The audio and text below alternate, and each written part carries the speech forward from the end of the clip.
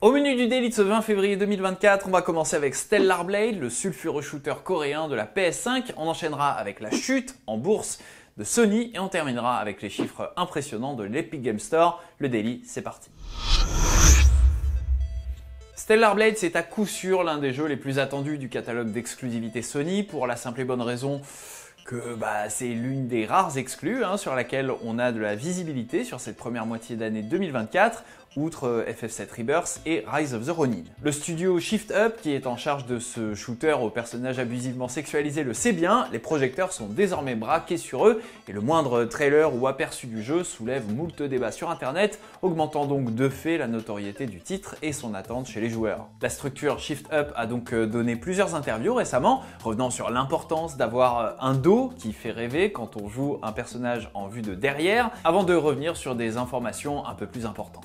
On apprend que la difficulté peut être changée à n'importe quel moment de l'aventure Stellar Blade et que le titre devrait embarquer aussi des assistances activables afin que les joueurs puissent s'en sortir sans trop de frustration côté challenge. Pour ce qui est du système de combat, on évoque ici du corps à corps et de la distance avec un combat de design rappelant tantôt Bayonetta, tantôt Sekiro ou encore Star Wars Jedi. Au niveau de la structure du jeu, dans l'interview donnée aux médias allemands Playdry, le studio évoque un semi-open world post-apocalyptique avec son lot de tactiques et de séquences variées, agrémentées de phases narratives et culminant sur des affrontements dantesques de boss. Enfin, côté technique, comme le résume Insider Gaming, la DualSense de la PS5 sera utilisée intégralement tandis que l'architecture hardware de la machine permettra d'offrir trois modes de jeu résolution pour jouer en 4K, supposément donc en 30 images par seconde, un mode performance à 60 fps et un mode équilibré qui va tirer le meilleur des deux.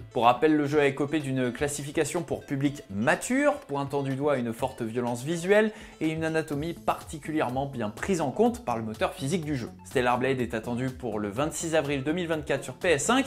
Je vous pose cette question, est-ce que vous l'attendez? Dites-nous tout ça dans les commentaires. Allez, petit break, regardez ça, c'est le nouveau DLC du jeu Power Wash Simulator. Fois-ci, le studio vous propose de nettoyer tout plein d'équipements et de vaisseaux issus du monde de Warhammer 40 000.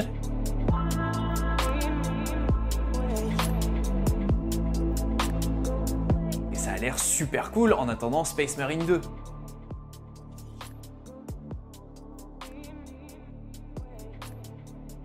Ça sort le 27 février 2024 et en attendant sa dispo, nous on passe à la seconde news du jour.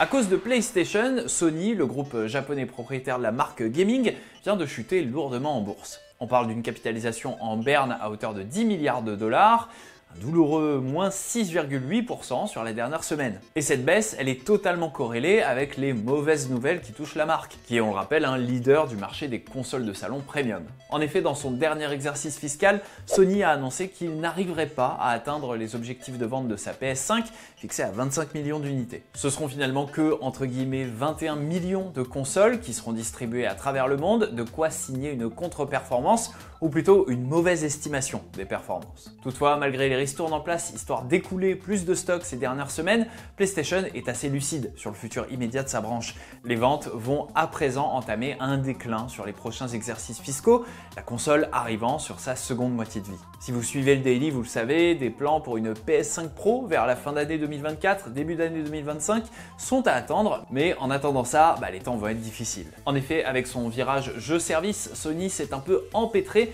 dans un virage éditorial qui semble toujours plus difficile à négocier.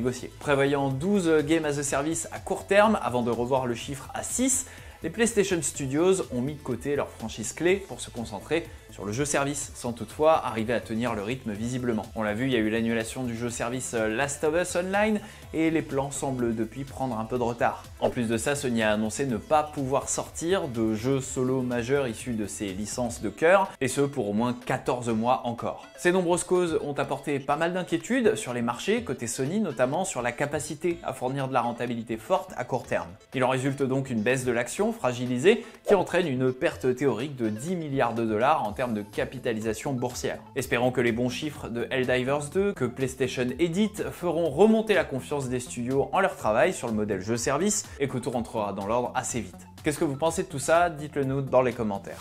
Allez, nouveau break dans les actus, regardez sur quoi j'ai passé une bonne partie de ma soirée, c'est Balatro.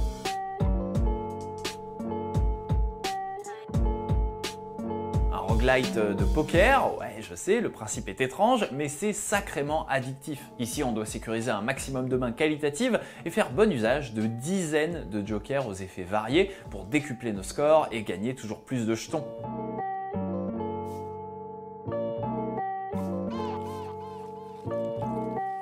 Vous laissez pas avoir par les graphismes simplistes, hein, c'est super cool à jouer et ça sort aujourd'hui. En attendant dire jouer, on passe à la troisième news du jour. Direct de Steam hein, sur L'Epic Game Store, c'est le concurrent direct de Steam sur le marché de la distribution de jeux vidéo en dématérialisé. C'est un secteur incroyablement dur à pénétrer vu le leadership incontesté de Steam pendant quasi 15 ans. Depuis l'arrivée de l'Epic Game Store, il y a à peu près 5 ans, la marque a donc dû se montrer archi généreuse avec les joueurs pour les charmer, n'hésitant pas à dégainer des jeux gratuits à gogo pour s'attirer toujours plus d'utilisateurs actifs. En grossissant chaque mois, l'Epic Game Store peut donc séduire toujours plus de développeurs pour qu'ils y distribuent leurs jeux avec un partage de revenus avantageux. Comme chaque année, Epic a fait son bilan 2023 côté plateforme et voilà ce qu'il faut en retenir. En ce qui concerne les gros chiffres, c'est au total 86 jeux qui ont été offerts sur l'année et ils ont été téléchargés plus de 586 millions de fois. Au total, Epic vous a donc offert plus de 2000 dollars si jamais vous n'en avez loupé aucun. Et histoire de faire taire les mauvaises langues, c'était globalement de très bons jeux avec une moyenne Open Critique à 75% de satisfaction. Plus impressionnant encore, c'est le nombre de nouveaux utilisateurs qui ont rejoint le service sur PC cette année 40 millions. Ces 40 millions font que au total le service compte sur PC 270 millions de joueurs et si on regarde toutes plateformes confondues, ça monte à 804 millions d'usagers, c'est monumental. On a également droit dans l'infographie qui résume les forces de 2023 pour Epic Game Store à un aperçu des jeux qui ont le plus généré d'attraction et d'engagement du côté des joueurs en haut du panier, on remarque Genshin Impact, Rocket League, GTA V ou encore Fortnite, mais aussi l'exclu épique Dead Island 2, dont le lancement a visiblement été un immense succès pour la plateforme. Au rang d'après, on a également Alan Wake 2, lancement PC exclusif lui aussi, ainsi que le jeu de survie coop Return to Moria, passé plutôt inaperçu mais qui a finalement bien marché. On vous pose donc cette question, est-ce que vous utilisez l'Epic Game Store et de quelle manière Répondez-nous dans les commentaires. Comme d'habitude, on termine avec le sondage. Hier, FKZ vous a demandé si vous étiez plutôt chaud pour un jeu dédié aux Mandaloriens en vue FPS. 46% des votants sont partants, 29% pas trop et 25% à vous ne jamais avoir maté la série. Aujourd'hui, je vous pose cette question, attendez-vous Stellar Blade? Vous pouvez me répondre euh, plusieurs choses, soit oui, beaucoup, soit pourquoi pas par curiosité, soit ce jeu ne m'intéresse pas, ou alors vous ne savez pas ce qu'est Stellar Blade. Répondez dans la section communauté de la chaîne YouTube JV. Le délice est fini, rendez-vous demain.